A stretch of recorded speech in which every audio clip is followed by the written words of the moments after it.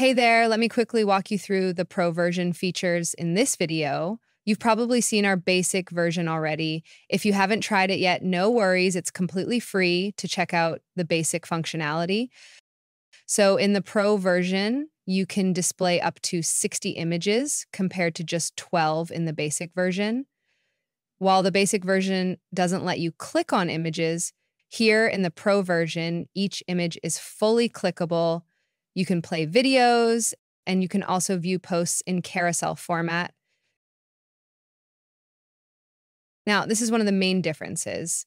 In the basic version, you just upload image in your Notion database and they'll show up in your grid. Pretty simple. But with Pro, you get three flexible options. You can still upload attachments like before, or use external links for any images you want, or my personal favorite, preview your Canva designs directly in the grid.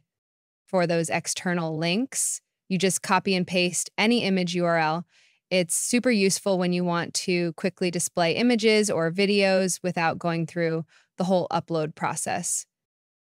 I will create a new example, find something nice on Pinterest, copy the image link, come back to Notion and paste it here. And look, it shows up instantly. And if you're a Canva fan like me, you're going to love this. Normally, you'd design something, export it, then upload it. And if you make changes, well, you'd have to repeat all those steps again. But with our Pro version, you can embed your design and see it right here in your grid. Let me show you an example. I've embedded this design already in Notion. Now watch what happens when I make a change. I'll just edit this part.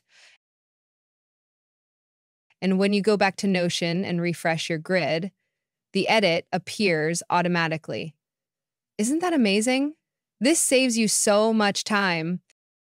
And that's a quick look at what you get with Pro version. Give them a try and see how they work for your projects. Let me know if you have any questions. Bye.